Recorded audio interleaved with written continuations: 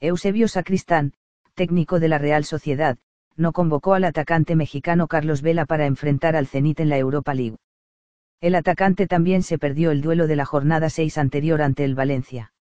El mexicano solo ha visto actividad durante 196 minutos en la Liga de España y ha jugado 90 minutos en competencias de Europa.